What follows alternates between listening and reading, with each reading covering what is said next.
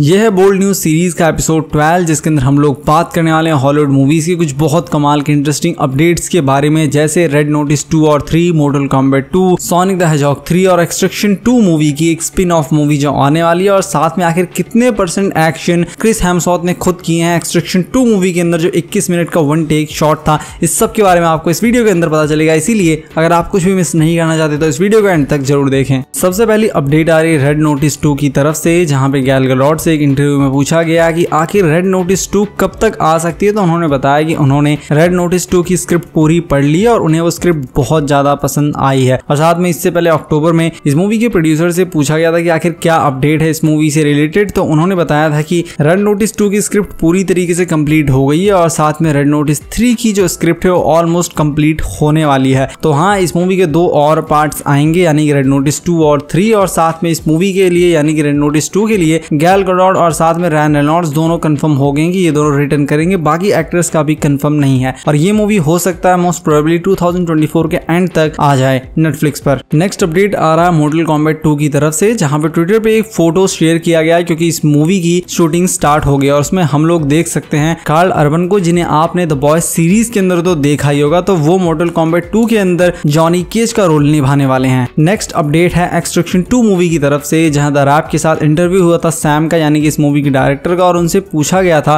कि extraction to के अंदर जो इतने सारे एक्शन सीन्स दिखाए गए इतना बड़ा वन टेक सीन है, उसके अंदर क्रिस हेमसॉथ ने कितने परसेंट एक्शन खुद किए हैं और कितने परसेंट बॉडी डबल से करवाए गए हैं। तो वहाँ पे उन्होंने बताया कि 99 परसेंट एक्शन खुद क्रिस हेमसॉथ ने किए हैं और बाकी एक बॉडी डबल्स ने किए हैं। नेक्स्ट एक फ़ैन आर्ट है जिसके अंदर हम क्रैविन को और वैनम को देख सकते हैं, जहाँ पे क्रैविन ने वैनम को चारों खाने चित कर दिया और नीचे पड़ा हुआ है। अब आप ही बताइए, क्या सच में क्रैविन के अंदर इतनी शक्ति है कि वो वैनम को हरा सकता है। नेक्स्ट अपडेट है हॉन्टेड मेंशन मूवी की तरफ़ से, जिसके एक बीटीएस वीडियो को रिलीज़ किया गया, जिसके अंदर हम लोग डिज्नीलैंड के बहुत सारे आइकॉनिक भूत को देख सकते हैं, क्योंकि इस मूवी के अंदर बहुत सारे भूत होने वाले हैं, और मूवी के लिए तो मैं काफ़ी एक्साइटेड हूँ। ट्रेलर अगर आपने नहीं देखा तो आप यूट्यूब पे देख सकते हैं। बाकी अगर कहानी की बात करें तो कहानी कुछ ऐसी है कि एक घर है, एक मेंशन है, जिसके अंदर एक औरत अपने बेटे के साथ रहने के लिए जाती है, लेकिन वहाँ पे उसको पता लगता है कि यहाँ पे बहुत सारे भूत हैं। वो बहुत से लोगों को बुलाती है ताकि समस्या सॉल्व हो जाए, लेकिन घर में लेने से पहले बता देती कि यहाँ पे अगर तुम आ गए तो तुम्हारे लिए मुश्किलें बढ़ने वाली हैं, क्योंकि इस घर के अंदर अगर एक बार कोई आ गया तो वो तब तक वापस नहीं जा सकता जब तक वो मिस्ट्री सॉल्व नहीं कर देगा। इस घर की ट्रेलर को देख के ऐसा ही लग रहा है। बाकी मूवी 27 जुलाई को आई थिंक रिलीज़ होने वाली है थिएटर्स में। नेक्स्ट अपडेट भी आ रहा है क्राइविन द हंटर मूवी की तरफ़ से, जहाँ पे इस मूवी की जो मेन एक्टर है, यानी कि एरॉन टेलर उन्होंने